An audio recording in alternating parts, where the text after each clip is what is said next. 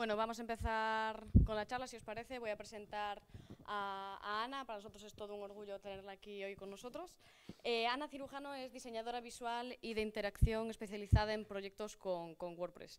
En la actualidad forma parte activa de la comunidad WordPress, liderando el equipo de diseño de WordPress España, impartiendo cursos, charlas y ponencias sobre tipografía responsive y WordPress. Es coorganizadora de la Meetup de WordPress eh, Collado Villalba y asiste a las WordCamps de toda España. El título de su charla es ¿Puede la tipografía aumentar las ventas de tu tienda online? Espero que disfrutéis de ella y nada, ya os paso con, Ana. Muchas gracias, Lua. Eh, el placer y el orgullo es mío estar aquí. Tenía muchísimas ganas de venir a, esta WordCamp en Pontevedra. Y bueno, lo primero, buenos días a todos y muchas gracias por haber elegido eh, este track, el track Avison porque sé que, que Guajari en la otra sala seguro que está haciendo una charla magnífica que espero que veáis en WordPress TV, porque va a ser, va a ser genial seguro. Y muchas gracias a la organización también por haberme dado la oportunidad de, dar esta charla, ¿no? estar hoy aquí. Em, bueno, ya me ha, presentado, me ha presentado Lua, entonces este espacio lo voy a dedicar a invitaros a que vengáis mañana. Como ha dicho, soy líder, bueno, me encargo de, ayudaros a que ayudéis en, el diseño, a colaborar con el diseño de WordPress. Realmente a mí me parece muy, muy grande lo que se puede hacer, ¿no? Una herramienta que, que, hace que funcionen las webs del 30% de, de Internet o el 60% de los CMS en general, que cualquiera de nosotros pueda participar en su diseño, tanto de experiencia de usuario como de interfaz de usuario. Para mí es algo maravilloso ¿no? que podamos colaborar con el proyecto y mañana es una de las cosas que vamos a hacer, colaborar con el, eh, con el propio software y también hacer cosas de, o sea, eh, ilustraciones, incluso podemos colaborar con las medallitas que se ponen en el usuario de wordpress.org, o sea que mañana si os traéis el portátil vamos a, vamos a trabajar y va a ser, va a ser muy bonito os invito a que, a que vengáis y, si venís, que sobre todo a la mesa de diseño conmigo, que va a ser muy divertida. Y después de estos minutos publicitarios, eh, vamos a hablar de tipografía. A mí la tipografía me apasiona, me parece que es la disciplina del diseño gráfico, creo que me apasiona por lo difícil que, que me resulta. ¿no? Eh, la tipografía tiene, algo, tiene mucho de, de sensaciones que percibimos y cómo, cómo el ojo nos engaña y cómo tenemos que modificar las, unas formas para que parezcan otras, mucha de, mucho de esa experiencia, pero también tiene muchísima técnica. Entonces, si seguimos unas normas eh, y, a la, y, a la, vez eh, tenemos el ojo entrenado, podemos conseguir comunicar lo que realmente queremos comunicar. Eh, la tipografía no solo se refiere a un tipo de letra, sino que se refiere también a la composición que hacemos de los textos. El interlineado, el ancho de la línea, eh, todas esas cosas que ayudan a que la legibilidad sea mejor y también a que jerarquicemos el texto. este ejemplo es, pues, vemos que es el mismo texto, pero vemos que el de la izquierda no nos apetece nada leer, leerlo, y, el de la derecha, aunque no lo queramos leer, ya lo estamos leyendo, porque el diseñador se ha ocupado de decirnos qué tenemos que leer primero. Eh, se ocupa de, decirnos, de ayudarnos a recibir mejor la información. ¿no? De esto es de lo que se encarga la, tipografía. Además, a mí me dice en una página web que la persona o el equipo de personas que han hecho eh, la web se han preocupado por el lector, por el usuario. Eh, una, web que cuida, mejor la, que cuida la tipografía, que se preocupa de, este tema, es una web que ha pensado en, el usuario. Le, ha puesto más eh, atención, más cariño a, a eso, ¿no? pensando en el usuario. La tipografía, normalmente, cuando, cuando se aprende tipografía, pues la gente se refiere a ella pues como el, traje, el vestido que le ponemos a las palabras, ¿no? o, la, o la voz. Con la ropa es muy fácil ¿no? Eh, ver eh, qué imagen queremos dar. Pues a una entrevista de trabajo nos ponemos una, una ropa y a la piscina nos ponemos otra. Eh, este texto no, no, está, mm, no está nada cuidado, ¿no? es simplemente una, una voz anodina, un traje que no, está cuidado. Sin embargo, este tiene más... puede tener la misma eh, intención comunicativa, porque lo otro también comunicaba algo, ya sabemos, como decía Paul Watzlawick, que es imposible no comunicar, callados también estamos diciendo mucho. Em, pero aquí le estamos dando una intención muy concreta. Eh, el, color de fondo o el color de las palabras también es tipografía. Eh, la accesibilidad, el, que, conseguimos eh, con el contraste, también es tipografía. Em, vale. Quería hablar de, bueno, esto es un Kandinsky, como, como sabéis, y quería hablar de Kandinsky porque... ¿Te gusta? Kandinsky eh, tenía sinestesia, y la sinestesia es una sensación que relaciona unos sentidos con otros. Eh, lo que hacía era que, cuando, que los sonidos los veía, veía los colores de los sonidos. Em, la sinestesia también lo que, lo que hace es que hay gente que cuando toca algo eh, tiene un sabor, un gusto concreto, em, o incluso eh, se, mezclan los, los sentidos. Y claro, eh, para mí la, sinestesia nos ayuda a entender un poco más por qué unos tipos de letra u otros nos dan unas sensaciones u otras. ¿no? Porque, eh, claro, la sinestesia eh, lo tiene poca gente, ¿no?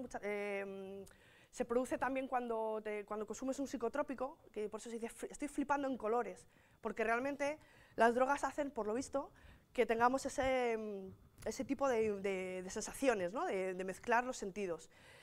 Pero es verdad que todos somos un poco sinestésicos. Eh, en este ejemplo se, se, suele poner, es muy habitual, cuando se explica la sinestesia se pone este ejemplo y es, si yo, tuviera que, si yo os dijera que una de las figuras se llama Buba y la otra se llama Kiki, tenéis claro cuál es Buba y cuál es Kiki. O sea, la de la izquierda es Kiki y la de la derecha es Buba es así, ¿no? No puedes llamar a esto buba y a esto kiki. No. Entonces, mm, tenemos claro mm, las sensaciones ¿no? de mm, pues, eh, pisar una almohada o pisar cristales. ¿no? A mí me parece... Y claro, la tipografía al final son formas, ¿no? pues son, son aristas o son curvas. Y entonces hay gente que se sorprende, bueno, es que la tipografía dice cosas por sí misma. Bueno, es que, claro, al final las formas nos dicen, nos hablan también, ¿no? Em, vamos a ver ejemplos de, tipografía y sus aplicaciones. Em, esta palabra está escrita con, roboto, que es bueno, de, tipo grotesca, como la helvética, que, me imagino que todos conoceréis. roboto es una tipografía que se utiliza en muchísimas webs. Y roboto sería como pues, eh, un poco uno de los estándares, ¿no? una de las tipografías estándar, que por legibilidad se utiliza mucho porque es una tipografía muy legible y además como es condensada viene muy bien para dispositivos móviles porque ocupa menos que una expandida. Condensada y expandida es la anchura de, la tipografía. ¿no? Pero no, no, es clásica, es bastante moderna. ¿no? Clásica sería más una Bodoni, que es de tipo Didona, y se ha utilizado eh, tradicionalmente para, para novelas. ¿no? En, las novelas, en, impresión, pues se utilizaba de este tipo de, de tipografías con serifas. Las serifas son los adornos que tienen, que tienen las letras, que nos ayudan a identificar mejor eh, las letras, em, porque nos dan más información acerca de qué letra es cada una de ellas. Y, y además, eh, bueno, al principio, es un, es un, mito que se extendió durante bastante tiempo y que hoy todavía mucha gente tiene, eh, se decía que las tipografías con serifas, como, como esta, se utilizaban para papel y en pantalla funcionaban mejor las tipografías de palo seco, como es la, la Roboto, por ejemplo. Esto ya no es así, eh, primero porque ya tenemos resoluciones de pantalla muy grandes que permiten eh, que a, través de una técnica que se llama hinting, permiten que las curvas, aunque sean, los píxeles son cuadraditos, entonces si tú quieres una curva, lo que tienes que hacer es, mediante una escala de grises, haces que se perciba mucho mejor, con más nitidez, esa curva. Hoy en día, con las resoluciones de pantalla que tenemos, y, con esta técnica eh, hay tipografías con serifas que se ven perfectamente, perfectamente nítidas, no, hace falta utilizar palo seco en, pantalla. Em, y es clásica, esta tipografía digo que es clásica, porque aunque es muy elegante, esta sería otro ejemplo, Ratio.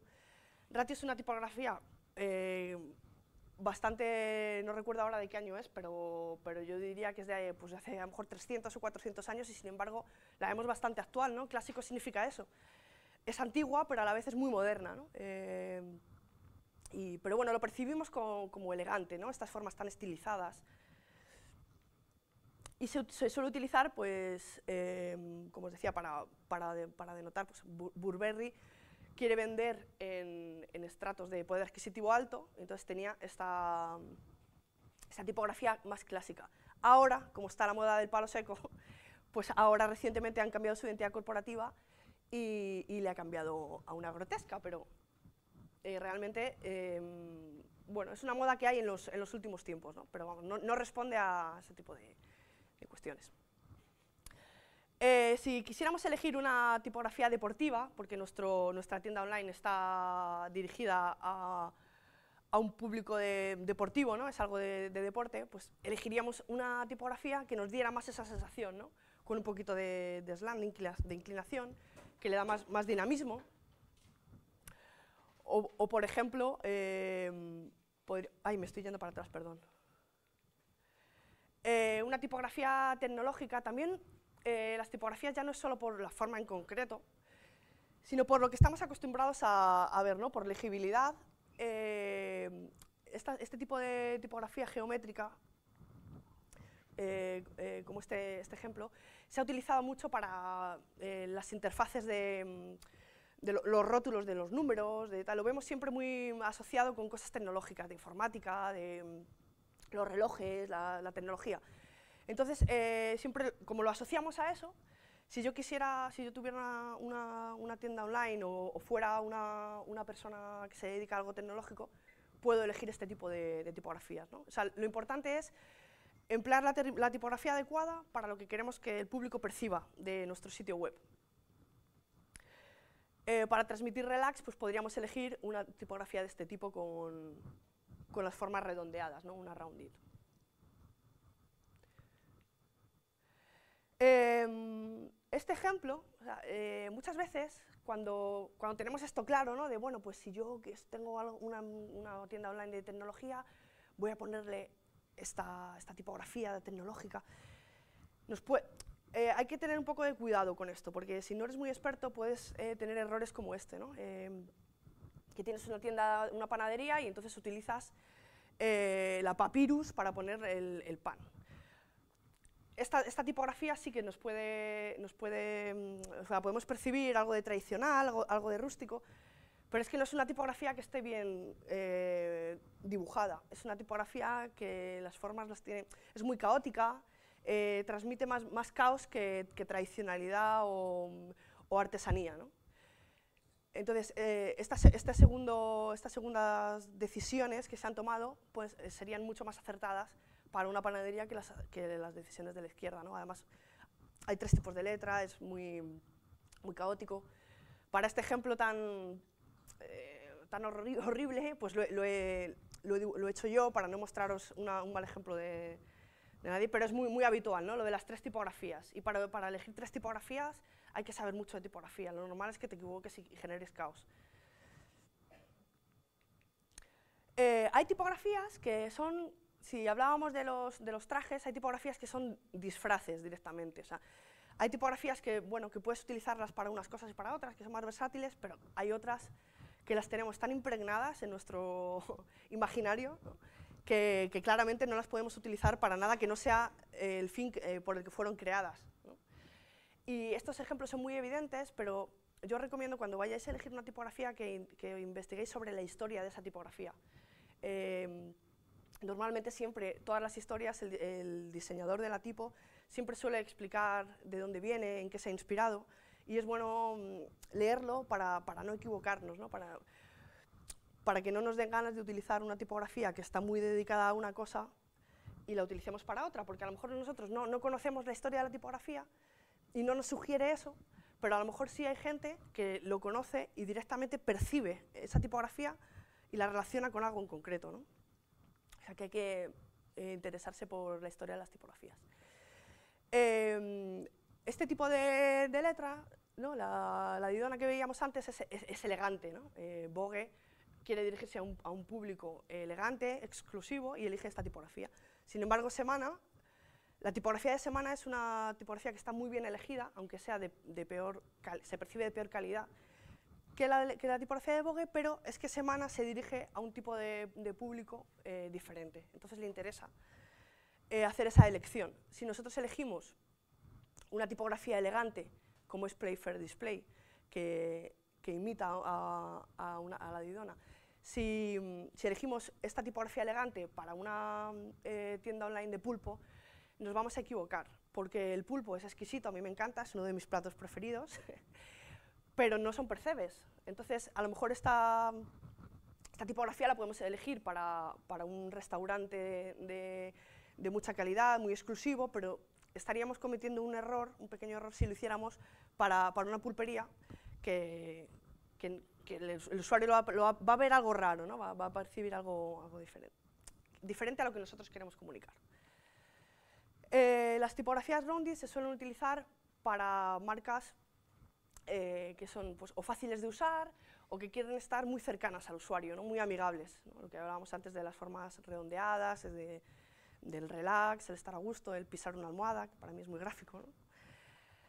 Eh, y si lo utilizamos para, para tiendas serias, por ejemplo, eh, lo de adapta algo, o sea, una página jurídica, por ejemplo, y utilizamos una tipografía rounded, el usuario lo va a, lo va a percibir como mm, algo demasiado cercano. Mira, yo no, no, no, quiero hacer amigos, quiero que me, que me hagas bien la web para la RGPD y no quiero, quiero algo más serio, ¿no? Esto me produce un cierto rechazo. No, lo, lo percibimos así, ¿no? Y muchas veces sin darnos cuenta de, por qué, pero es, entras en una web y dices, esto es muy cutre, esto no, no sabes por qué, pero, pero realmente lo percibes. Eh, las tipografías eh, con serifas como la Garamond, ¿no? y la Garamond es una tipografía que se ha utilizado muchísimo, es muy seria, muy elegante, eh, se utiliza, por ejemplo, en, en este ejemplo de, del packaging para complemento dietético, que tiene que ser algo eh, serio, eh, si lo utilizamos para dar un, mensaje de oferta agotado, mm, realmente no estamos siendo muy aburridos, ¿no? O sea, que está diciendo oferta. No queremos decir oferta, tendría que ser una tipo, esta, es una mala, mala elección, aunque es sutil, ¿vale? Pero sería una, una se podría mejorar. Eh, sin embargo, en esta, en esta web sí que quieren dar una, una impresión clásica, seria, formal, eh, poder adquisitivo alto, entonces utilizan esta tipografía, ¿no? más elegante. Además, esos espacios en blanco, que también es tipografía, el espacio que dejamos entre las imágenes, entre los textos, para que el texto res respire. En papel teníamos que ceñirnos al, formato de la página, pero en web no. Es, eh, nos cuesta lo mismo un formato más ancho y más eh, amplio que uno más pequeño, luego tenemos que aprovechar ese espacio en blanco que nos va a dar más elegancia. Eh, luego tenemos tipografías de, de, palo seco, como comentábamos antes, como Montserrat, por ejemplo, o Próxima Nova, que se han utilizado tanto que ya es, como, como comentaba antes, ¿no? el, estándar. No, decimos, no decimos nada, bueno, pues simplemente decimos, bueno, pues aquí estamos. Se suele contrastar con una tipografía más diferente, ¿no? para, que, para decir algo, para darle personalidad, porque si no parece como que no, estamos ahí pero no, no decimos nada importante. ¿no? Por ejemplo, en esta tienda lo que conseguimos con esa tipografía es no llamar demasiado la atención, como las ilustraciones tienen tanta fuerza, porque tienen muchísimo color, incluso la tipografía del logotipo es muy, tiene mucha personalidad, para los títulos y los párrafos utilizamos una tipografía eh, de palo seco para no llamar demasiado la atención, ¿no? para que no haya tanto caos. La letra egipcia eh, funciona muy bien, tiene muchísima legibilidad, incluso en pantallas de poca resolución, por eso se utiliza en los lectores. Y, es muy versátil, o sea, se puede utilizar hasta para, para logotipos con una intención o con otra. ¿no? Se viene utilizando en todo tipo de, en todo tipo de sectores, bueno, es como su peculiaridad es, muy legible, pero eh, es muy, muy versátil, funciona para unas cosas y para, otras. Aquí tenemos un ejemplo de, mala tipografía en el título, en el eslogan, porque del, del Hero, porque no se ve, no se lee nada, está la, imagen detrás que tiene muchísima fuerza y el título apenas se lee, ¿no? eso también es tipografía. Vemos que también pues, que puede ser utilizada en, distintos ejemplos, ¿no? esa tipografía. Eh, aquí os traigo un ejemplo de mala, de mala elección tipográfica, porque yo lo que veo es escuela infantil, Cash Converters. no le pongas esa tipografía a la escuela infantil, por mucho que te parezca amigable, cercana para niños, porque pareces una sucursal del Cash Converters, que ya estaba antes. ¿no? Para mí es una, una mala elección. Tenemos que, al elegir una tipografía, siempre tenemos que tener en cuenta con qué otras tipografías o, el contexto en el que nos, nos lo vamos a encontrar. ¿no? Me diréis, ya, Ana, pero yo quiero saber números. O sea, yo tengo una tienda y yo lo que quiero es generar más ingresos. ¿Realmente al mejorar la tipografía voy a conseguir ingresar más? Que es la pregunta del título y es lo que vengo aquí a contaros. La verdad es que se han hecho pocos estudios, pero yo he encontrado alguno y os, los, os traigo las cifras y con esto acabo Dani, vale, que me ha dicho que ya me queda un minuto. Eh, un aumento en un estudio que se hizo, eh, por cierto, la presentación la vamos a compartir, todas las presentaciones de, de, toda la WordCamp van a estar disponibles para todos vosotros y yo tengo enlaces en cada una de las... Eh, cuando tengo que citar una fuente y podéis ver el estudio completo, ¿no? pero os, os extraigo estas cifras, ¿no? mejora la, disminuye la tasa de rebote, disminuye el porcentaje de abandono, aumenta las páginas vistas y aumenta en un 133% el ratio de conversión. Por lo general, yo lo que, he podido ver es que normalmente el, tamaño de letra de las páginas web es demasiado pequeño. Siempre, si aumentamos un poco, va, vamos a mejorar. Eh, y luego otros, o, el resultado de otro estudio es que las tipografías manuscritas... Eh, ah, no, perdón, este ejemplo es el, el de los títulos cortos. ¿no? Eh, Sabéis que, bueno, que la gente no lee y para impactar el título, nada más abrir la página web, si es corto y grande, convierte más. ¿vale? Un, un 334% con, con ese cambio. Y por último, lo que os comentaba antes de, de la tipografía manuscrita. ¿no? Eh, se hizo un estudio eh, poniendo una tipografía manuscrita en, en, productos en los que queremos ser más cercanos y funcionaba mucho mejor que una tipografía eh, de palo seco. ¿no? Incluso, y al revés, en un insecticida funciona mejor una tipografía de palo seco que una tipografía manuscrita, por la sensación que nos da ¿no? de, casero, de, que sí es más apropiado para, para productos pues, como por ejemplo eh, de, de, higiene femenina, ¿no? como sería este, este ejemplo en la página web. Y muchísimas gracias. Muchas gracias.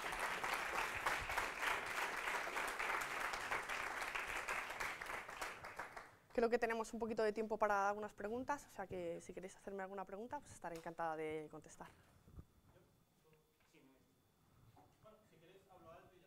Es para el vídeo. Hola, ¿sí? ¿Se oye? Sí, ¿no? Hay agua.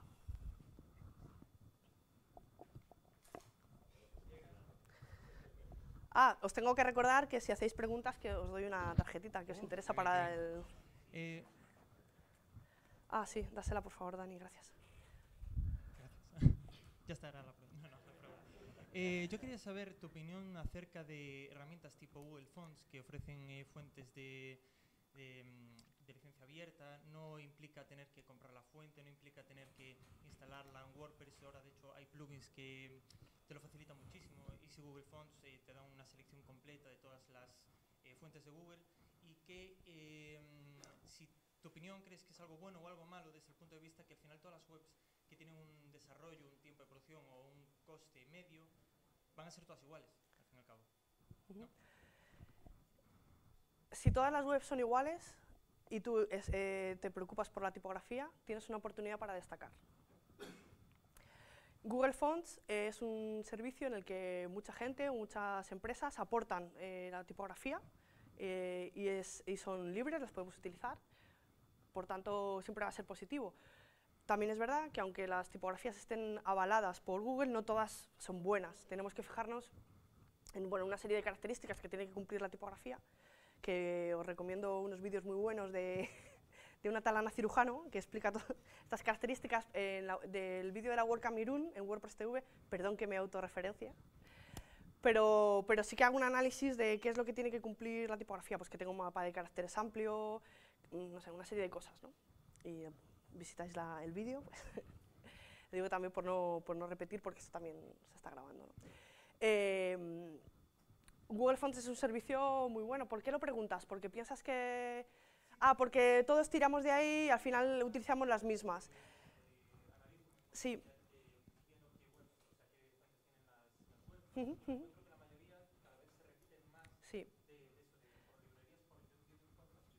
Sí, hay estudios que demuestran que leemos mejor las tipografías que más conocemos. Si, tú, si, si tu web es, eh, tiene mucha lectura, utiliza una de esas tipografías estándar. Si quieres darle más personalidad, pues no utilices una Roboto, una Próxima Nova o una de estas que se utilizan tanto, una Montserrat. Pero si te interesa mucho la legibilidad, sí, utiliza una de estas, porque el usuario está más acostumbrado y, y la legibilidad es mejor.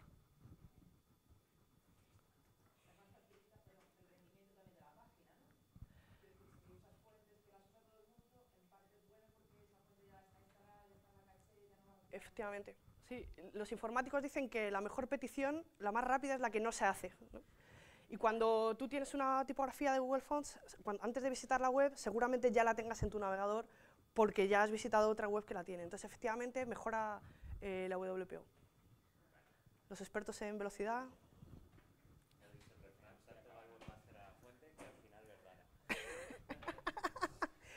Muy bonito. No lo había oído nunca. Tanto va el webmaster a la fuente que al final verdana. Muy guay. Ah, ya. Ah, vale, vale. Bueno, muchas gracias.